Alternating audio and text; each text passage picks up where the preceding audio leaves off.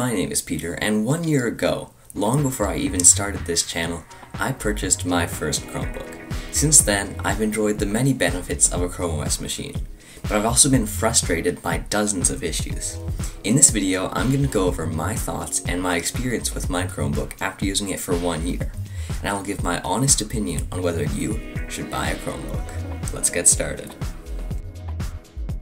I'd like to do a bit of a channel update right here. You may have noticed I changed my channel name. It is now Peter Salmon, me.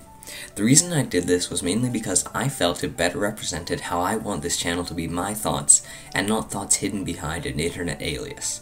In the future, you can expect to learn more about me, my interests, and why I started this channel. Also, I recently made a fairly big purchase that's going to become relevant in about a week, so stay tuned for that. For now though, let's continue the video. There are two different types of people who use Chromebooks.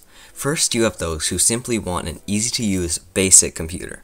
On the other hand, there are people who want to use all of the more advanced and in depth features of their Chromebook. If you've seen my past videos, you know which group I fall into. By the way, I've put timestamps in the description if you would like to skip to a certain section or revisit parts of the video. You should know that my Chromebook is the HP X360 14. I made a review of it if you're interested, and it cost about $500. Your experience may vary at different price points. Anyways, let's start with the good. My favorite part about my Chromebook is the battery life. For context, I usually keep my brightness at 100% and use my computer fairly heavily, and yet I still get anywhere from 7 to 10 hours of battery life on a single charge. That means I never have to worry about finding a charging port or even checking my battery. It just never fails. Where other computers often get less battery life than advertised, Chromebooks sometimes get more. Quite the achievement. Fortunately, that battery life doesn't come at the cost of performance either. My personal machine is outfitted with an 8th Gen Core i3 and 8GB of RAM, so it isn't exactly underpowered, but it's not the most powerful machine either. Chrome OS doesn't care though dozens of tabs, including video and music streaming, Google Docs, and other websites rarely cause slowdowns, and Android apps perform sufficiently as well.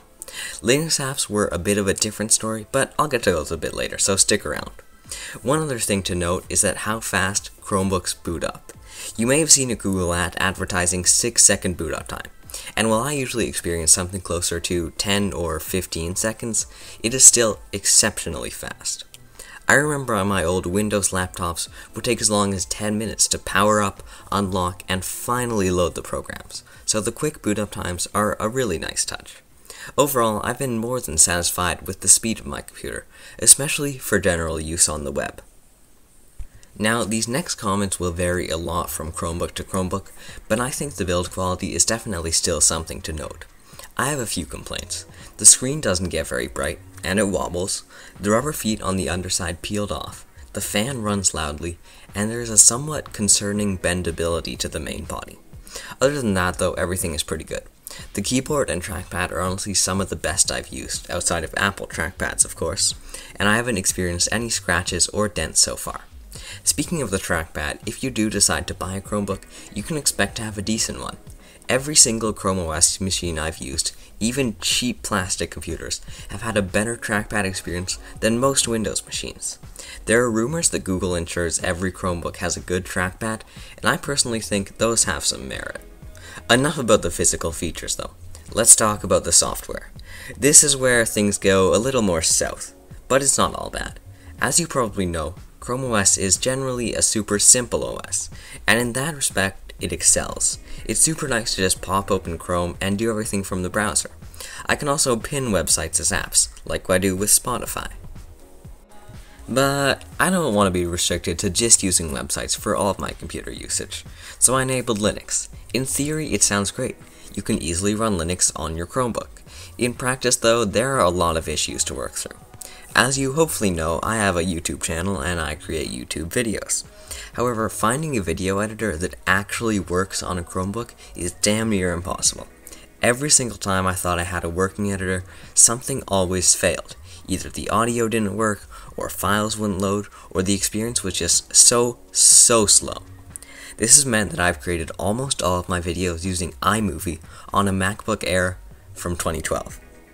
Now, I can already picture the comments telling me that if I wanted to edit videos, I shouldn't have bought a Chromebook. And you are right. But when I bought this computer, I didn't plan on creating a YouTube channel. Sure, it was an idea in the back of my mind, but never something I'd acted on. Sorry, distractions, distractions. Some Linux apps did work decently, though.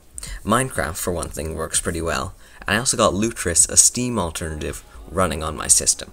By the way, I left the links for a lot of what I've mentioned in the description of the video, so check this out if you are interested. And while you're there, hit that subscribe button. It's an easy way to support the video and the channel as a whole. In general though, the Linux experience just wasn't great.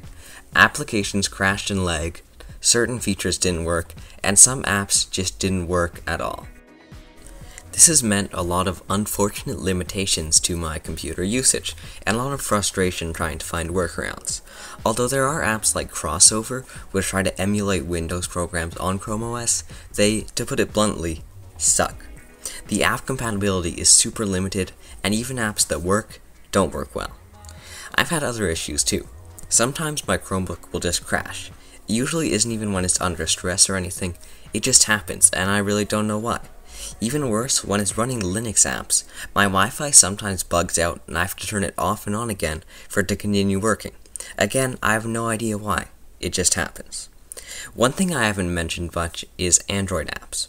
And the reason is why, well, they aren't really made for big displays. Just like Android tablets, Chromebooks don't always fit the apps, which makes the experience less than ideal. Another thing I know people worry about with Chromebooks is their storage.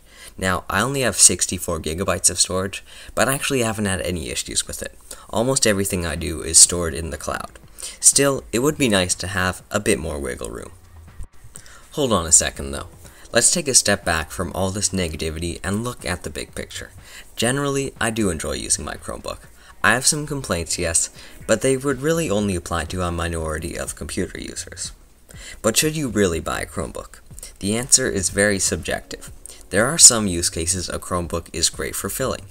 A cheap laptops for kids or schools, a simple piece of tech for older people, or as a secondary media consumption device for individuals or for families. As a main computer though, I don't recommend buying a Chromebook.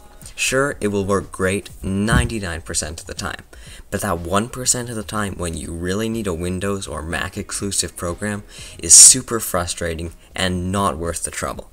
In the future, as Chromebooks become more and more capable, it may be easier to recommend them, but for now, I really can't bring myself to recommend a computer that has a half-baked OS. So, those are my thoughts after a year. What do you think about Chrome OS? Is it a viable option in 2020? Let me know down in the comments. For now though, if you enjoyed this video, leave a like and subscribe for more awesome content later on. Thank you for watching, and I will see you in the next video.